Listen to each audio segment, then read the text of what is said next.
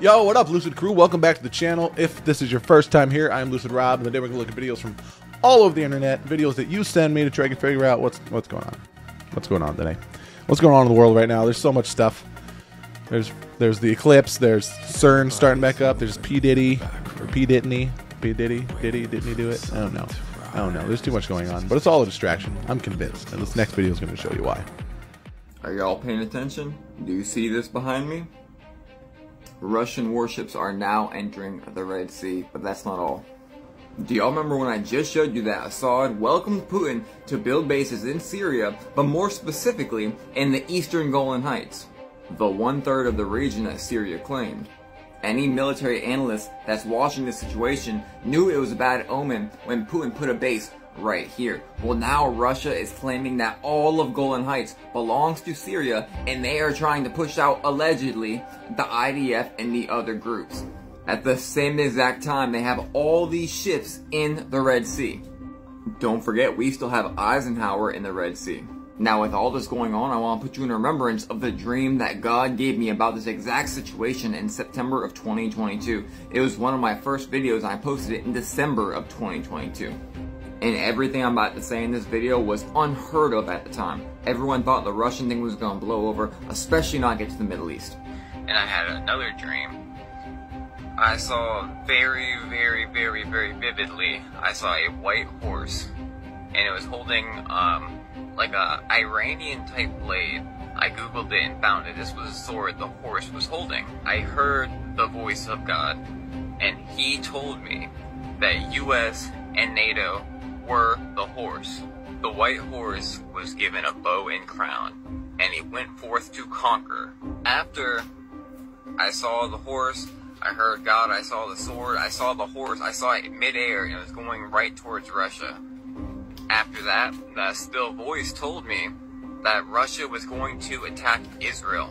Now, seeing how all this stuff is transpiring in Golan Heights, don't forget, Benjamin Netanyahu made Trump Heights, a place in memory of Donald Trump.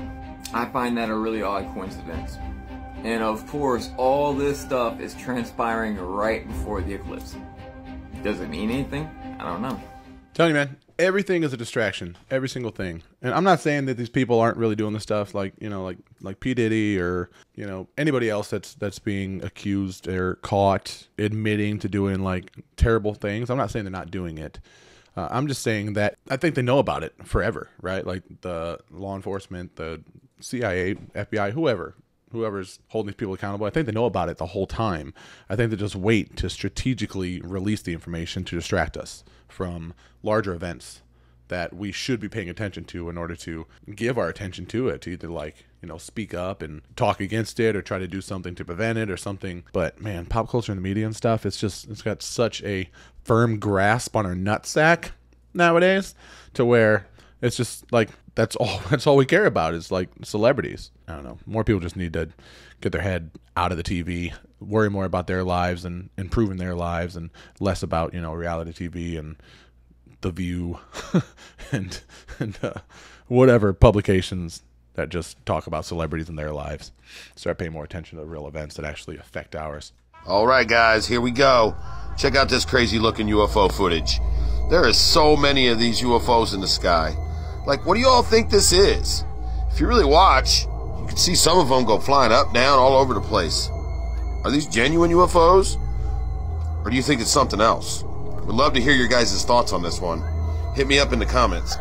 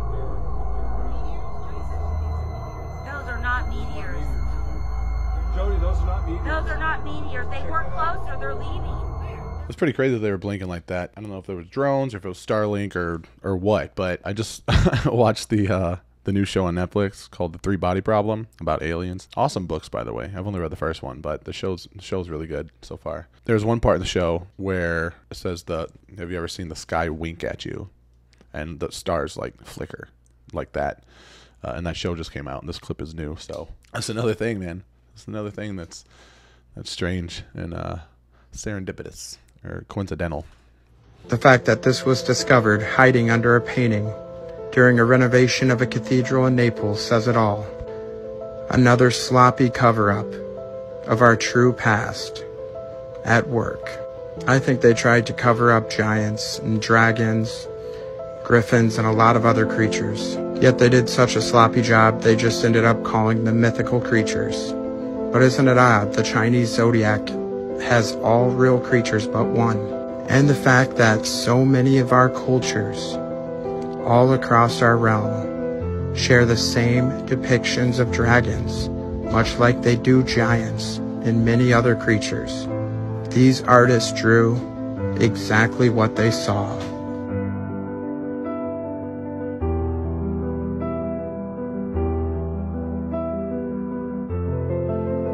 And you can still find some mud fossil remains. Like here's the Dragon Head Cave in Egypt. This world is vastly different than what we've been told it was. And why cover up dragons? It's the same reason why they lied to us about all of our history. Those unaware of their true past and their true origins are all that much easier to control. Perhaps dragons explain some of those melted castles. And just look what our old dictionary said about dragons. Now rare. What's weird about that? Um, I'd love to believe in dragons. Um, I think that'd be super cool. Dragons, giants, all that stuff. I I love fantasy, fantasy and sci-fi. Love it, love it so much. If I could live inside the world of The Witcher, sign me up. I'm in. But I've seen so much stuff lately about dinosaurs being fake. Things about maybe dinosaur bones being constructed from giant bones, reconstructed from chicken bones, which they, they do for the museums, I guess, in order to, you know, not display the actual bones they found. Uh, I don't I don't want to not ever believe in dinosaurs. But for dragons, like I wonder if those people that think dinosaurs are fake also believe that dragons were once real because dragon could have just been a, a, form of dinosaur, right? I don't know. It's interesting how many of these conspiracies just like butt heads, right? They just they just butt heads and kind of cancel each other out. Giant flying cities in the sky, said to roam the heavens like celestial chariots. Legends of ancient nuclear weapons capable of incinerating entire civilizations, whispered across the sands of time. Vimanas, ancient flying machines described in the sacred texts of civilizations long lost to the sands. Described in the Sanskrit texts of Hindu and Buddhist traditions, Vimanas are flying machines that defy conventional understanding. These ancient accounts portray Vimanas as a fusion of modern stealth aircraft and flying saucers, capable of extraordinary feats such as interplanetary travel and high-speed maneuverability. The descriptions of Vimanas bear striking similarities to modern technological concepts, such as stealth aircraft and ion thruster propulsion systems.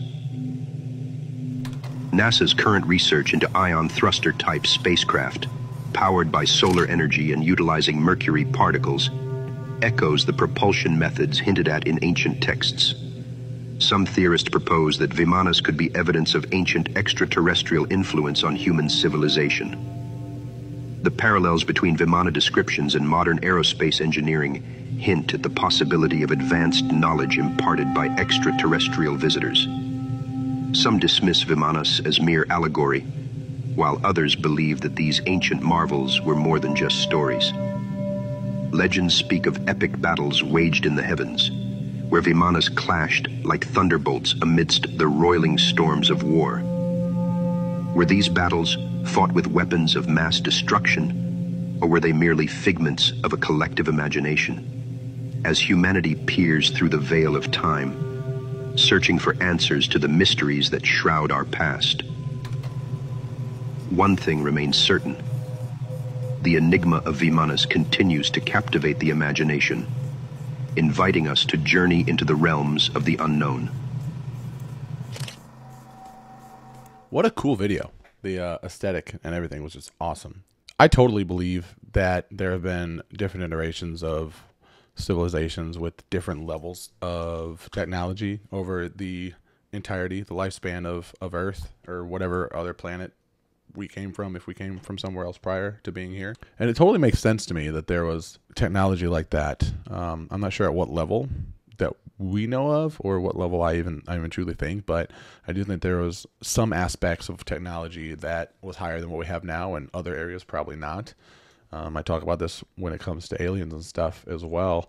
People say, why would they be interested in our planet? And I basically say, because just because they may develop further in some areas doesn't mean that they develop further in other because their priorities would be different based on their atmosphere and their you know what they need to do to survive and you know their environment and whatnot so they have every reason to be interested in us but that's a different conversation but same same case here right if it's an ancient civilization they have different different things they have to worry about based on you know where they live what their their goals are as a, a civilization, a community, progressing in one area and less in an area of actual surviving and wasn't able to, you know, prevent being wiped out by some natural disaster or nuclear event or whatever. But it makes total sense. It makes total sense now that uh, just knowing that, you know, Nikola Tesla was getting close to, you know, redeveloping some of this ancient technology and the stuff that they think the guy at the Coral Castle used. Look up Coral Castle if you're not familiar with that.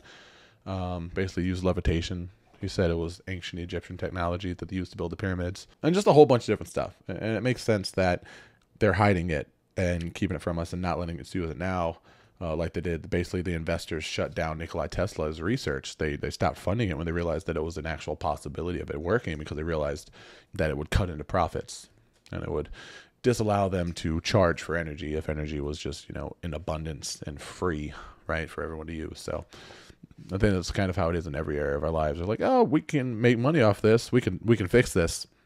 We can make this free. We can cure this, so on and so forth. But then we can't make money off it. So no, let's hide this. And it's sad. It's sad to think or even to know and be as confident as I am that our past and our history and our, our potential progression toward the future is hidden uh, just strictly from greed. It sucks. This beach is not a beach, it's actually a glacier.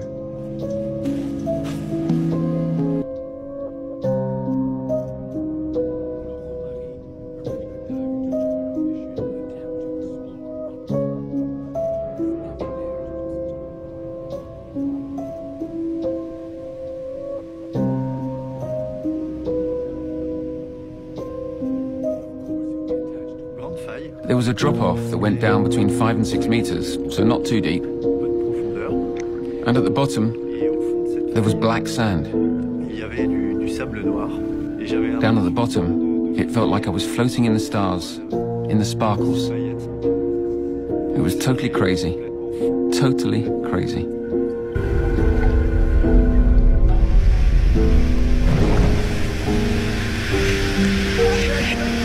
It's incredible. That's good.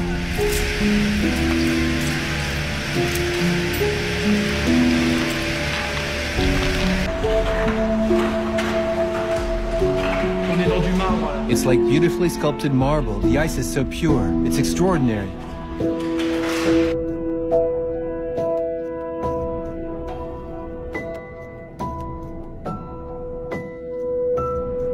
But after about 200 meters, shapes start appearing on the screen. And what I'm seeing, about 20 meters below, is a geological interface that's very strong, very clear. This beach is not a beach, it's actually a glacier. There's a significant amount of ice that's trapped in the valley and no longer moving. That's weird.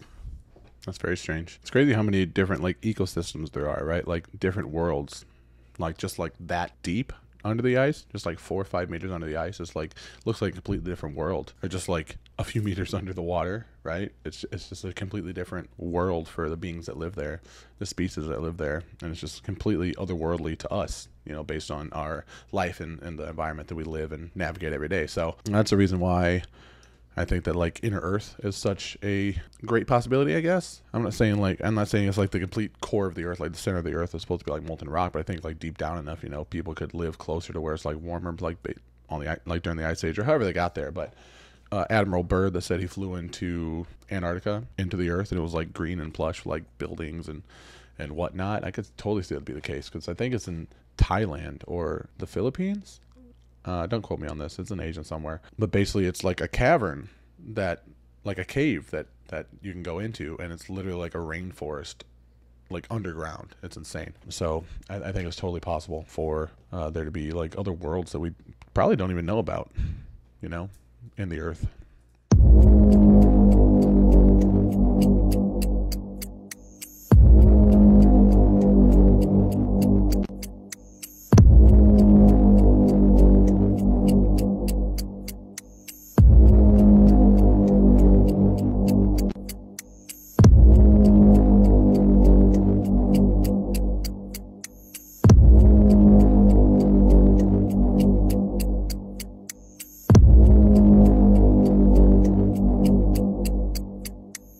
So I'm going to need some context, some contextual evidence as to why you think that, just based off of those images you sent me. Galactic Federation. Whatever layer this is, is way the heck up there.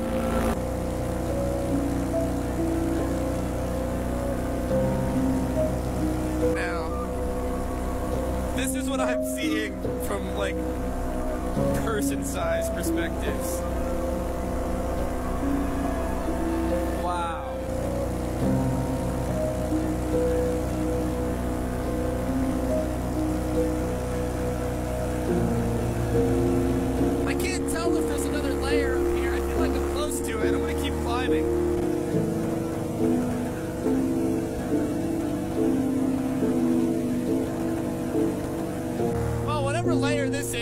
Heck up there. Doesn't look any closer. I don't really want to be like right below it either, so is about as high as I want to go.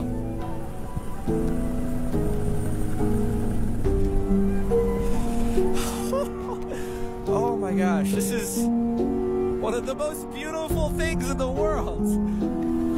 Holy heck. You know, those were mountains peeking through the clouds, right? That's what that was. Enki, also known as Ea in Akkadian and Babylonian mythology. Renowned as the god of water, knowledge, and creation. A principal deity, Enki's story is rich with tales of innovation, wisdom, and cunning. He is credited with the creation of mankind, the establishment of Eridu, the first city of Sumer, as well as the development of the Tigris and Euphrates rivers through a network of canals. According to interpretations of Sumerian texts, Enki played a pivotal role in the creation of humans. The Anunnaki, including Enki, were in search of resources on Earth. Faced with labor challenges, Enki proposed the creation of a worker species to alleviate the Anunnaki's burdens. Using his advanced knowledge in genetics and biology, he engineered humans as a hybrid species. This process involved the genetic manipulation of the Anunnaki's DNA with that of Homo erectus, the most advanced terrestrial species at the time. Enki's expertise in science enabled this ambitious project, resulting in the birth of Homo sapiens, beings capable of performing the tasks needed by the Anunnaki, while also possessing a degree of sentience and intelligence. Enki's relationship with his creation was complex and multifaceted. Unlike some of the Anunnaki who viewed humans merely as servants, Enki developed a paternal and protective attitude towards humanity. This emotional attachment is highlighted in numerous myths, where Enki intervenes to guide, protect, and even educate humans. In the Epic of Gilgamesh, Enki plays a crucial role in the tale of the Great Flood, a narrative echoed in various cultures worldwide. It is here we witness Enki's defiance of the decision made by the Anunnaki Council to let a catastrophic flood wipe out human civilization. Moved by compassion, Enki chose to save Utnapishtim, the Sumerian equivalent of Noah, by warning him about the impending deluge. He instructed him to build an ark capable of saving his family, along with a collection of animals and plant species to ensure the continuity of life post-flood. Enki's actions in this tale underscore his rebellious nature and his willingness to challenge the consensus of the gods to protect humanity. The representation of Enki as a serpent or being associated with serpents is a recurring motif in ancient cultures, symbolizing wisdom, life, and rejuvenation. This symbolism reflects Enki's role as a bringer of knowledge and enlightenment, akin to the serpent in the biblical story of Adam and Eve. This serpentine symbolism extends beyond Mesopotamia, appearing in various cultures and mythologies around the world. From the feathered serpent Quetzalcoatl in Mesoamerican cultures to the Naga in Hindu and Buddhist traditions, the serpent emerges as a symbol of wisdom, healing, and connection to the divine. These global serpent motifs may trace back to a collective memory of Enki, his deeds, and his association with the fundamental aspects of life and knowledge. In weaving together these narratives, we uncover a tapestry of myth and speculation that challenges our understanding of ancient history and the origins of civilization. We was created by aliens, y'all. Woo! I knew it. I knew it. It's actually a creation story that I uh, I believe. Uh, I had a roommate years ago that was uh, super into this stuff. I mean, I'm talking like 2008, 2009. Uh, so I actually read the Book of Enki by Zacharias Sitchin in well, like 2010 or something, 2009. I read it. Uh, always super interesting stuff, but I didn't really start taking it too serious until recent years. Actually, it just makes more sense, right? It makes more sense that way to me, anyway. I just think that uh, there are a lot of stories that are very similar, and some stories just just tell more details than others. So I think collectively, every religion is telling the same events. You know, every every all the mythology from you know Greek to you know Rome to Mesopotamia to the Aztecs to Christianity, Catholicism. I think a lot of the the stories are very similar because they're things that actually happen, just different eyewitness accounts, different experiences, different parts of the world, uh, and also just different knowledge, different information being passed down through generations, right? That kind of gets maybe a little jargled and, and mistold or emphasized differently or just kind of gassed up, right? To, to even in some areas to seem like more happened than it did. But I think overall we can agree that we likely didn't happen by chance, right? Likely didn't happen by chance. There's a creator of some sort, and we just don't know who he is yet for sure. And anybody that says they know for sure is uh, is a little too confident in my book. Uh, it's okay to question things, so that's why we're all here. But yeah, either way, aliens, baby, aliens, let's go. Three days of darkness. Let me tell you everything that I know, and Lord knows I do not want to make this video. I don't like to speculate, and I'm not given to internet conspiracy theories, but I have something that I have to tell you. I do see something here. I've been seeing it here for a long time. It's time to come clean. I moved my family out of Alaska because of a gut feeling. Wasn't the only reason, it was just the first one that caused me to look for all the rest. Maybe it's silly, maybe none of this is true, but it bothered me so bad that I moved my family out of Alaska. This article was ran by Forbes over six years ago and can only help you speculate. This is the Edgar Cayce map, a clairvoyant communing with demons to see the future. Potentially total garbage. Only I don't think it is. Because this makes some kind of sense to me that I cannot explain. Now, until very recently, and I mean this month, I did not know that there was a correlation between total solar eclipses and devastating earthquakes. And now that I do, the plot is getting real thick, fam. In September of 1811, a total solar eclipse took this path through the United States. And in December of 1811, the New Madrid fault line popped off in a series of devastating earthquakes that lasted all the way through into January. Now, the scientists say there is increased earthquake activity in the face of new moons, a new moon being required for a total solar eclipse. There is a scientific correlation there that seems to have everything to do with causation. But it was three months after the eclipse. What's your point? If a barge goes under a bridge and hits one of the supports and damages it, there might be 2,000 vehicles roll over the bridge before it gives out, is what I'm saying. So that the new moon of a solar eclipse is like a barge passing under a bridge and hitting one of the supports. This is the path the total solar eclipse took in July 1963. Funny thing, it passed right through Talkeetna, Alaska, where my family and I lived, long before we were born. And then in March of 1964, a devastating earthquake tore Anchorage all to pieces. Solar eclipse is not an instant trigger, it's more like a fatal wound to the fault line. Doesn't mean there's going to be a terrible earthquake after every total solar eclipse.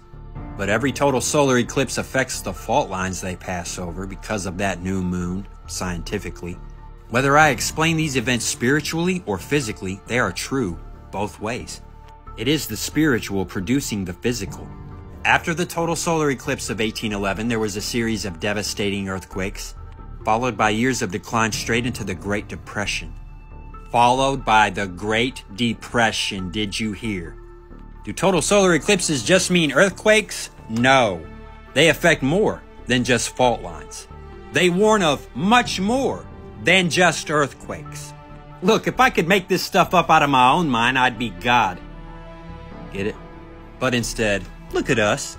Us little bitty babies just learning about his creation, don't even know how it works. So, Rutro, what the stink is that converging right over top of the New Madrid fault? I mean, can you say X marks the spot? What is going on there? This is the path of the solar eclipse from August 21st of 2017. Well, nothing happened after that one, did it? It didn't warn of anything at all. Y'all forget about COVID and every single thing that has happened to our country since then? That wasn't enough to get your attention, get your minds right? Well, this is the path of that solar eclipse that's about to happen on April 8th. And the very spot where it crosses the path of the last one is the New Madrid fault line. Y'all don't see that right there? If you do not believe in God and only believe in science, that right there is alarming, bruh. And I mean, call the National Guard. See if they can stop it. Time for a Bible punch in the mouth. Thou art wearied in the multitude of thy counsels. Let now the astrologers, the stargazers, the monthly prognosticators stand up and save thee from these things that shall come upon thee. Y'all think that's a random coincidence? This is the scientific prediction should that fault line pop off. Should that New Madrid fault line pop off right there, this is the prognosticator's view of what the future topography of the United States of America is going to look like. Now, I'm not saying that this is going to happen at all, only that it would make great and terrible sense to me if it did. I am no authority on this subject as far as men are concerned. I got two years of videos you can scroll though and decide for yourself whether I have authority and where it might be from.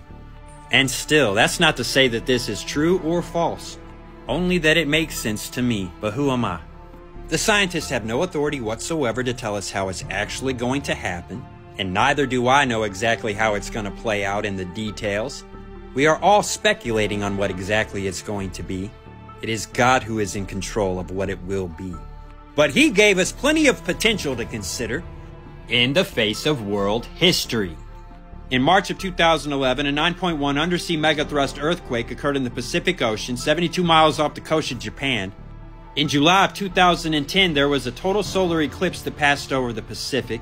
Why would this affect Japan at all? Oh snap, this is the Ring of Fire, and that total solar eclipse went exactly this way. And that megathrust earthquake hit Japan this way. Oh, there's a pattern, a recurring series of events here. A pattern I did not know when I got the gut feeling to move my family out of Alaska. Not that that counts for anything. Except with me, I trust my gut. Do you know if they knew all the variables, they could predict all of the earthquakes too? It's on a schedule. What's funny is when I made that first Sign of Jonah video, I wasn't thinking about any of this at all. Not considering this as a potential for anything, I was thinking World War III is on our doorstep, you know, and it is. The economy goes down, maybe a new round of disease, which thing is pestilence. Oh snap, if pestilence followed the 2017 eclipse, is there some way to know where we are on the timeline of what it mean, what eclipses mean, or, you know, what's following them specifically, each one? Probably, I haven't looked at that yet, but I'm pretty sure, you know, you'd find it. Cause wouldn't that make sense? Three Days of Darkness, as we're all hearing about it, is based on a false private prophecy wherein in three days of darkness, the Catholic Church's enemies will all be destroyed. And that might sound good on the surface, but they got that whole idea from the Bible to begin with, and men have been making false prophecies out of stuff they got in the Bible this whole time. Internet conspiracies also need not apply, because they're so chock full of disinformation, it's hard to sort it out, you know? Three days of darkness was one of the plagues that descended on Egypt during the Exodus. Precluding the Exodus. Does that mean we're about to get an Exodus? I stinking hope so, I really do. Does it mean we're gonna get a revival? Well, man, that's what I would surely love. Does it mean we're going into the wilderness? Well, that's what comes with it. Don't complain about the lack of onions, and don't ask for no geese. In the wilderness, they wanted geese. God gave them geese. Everybody that ate goose died. Y'all think this is a game based on your pleasures and desires? It is not. This surely means something rather than nothing. I can't tell you exactly what's going to happen. I am ignorant of far too much. I can tell you exactly what there is to do about it, though, and how to prepare entirely. The only way to prepare for what is going to follow this. It ain't stacking up food, water, and ammo. It's not fortifying your shelter. It's not preps. Nobody's promised tomorrow whether there's a calamity or not. What are you preparing for? That was intense. so that was a very long video. Uh, I was gonna cut it down. It's a very long video. I was gonna cut it down, but it was just super interesting. That guy's name on TikTok is dead underscore hidden, D E A D underscore H I D D E N. Really cool stuff, man. Really cool stuff. Thanks for sharing. I don't, I don't know what's going to happen either, man. I don't know what's going on with this eclipse, but there's a lot of crazy stuff happening right now. Not just in the world, just like surrounding this eclipse. Say it's going to potentially knock out power, potentially knock out our internet. I mean, NASA's shooting rockets at it, like three of them. They've confirmed for research purposes. CERN's starting back up the same exact day. I don't know what's going to happen in a couple days, guys. I mean, it's April 3rd right now. So, five days, man. I guess we'll find out. But no matter what happens, you know, stay safe. Pack up some food and water.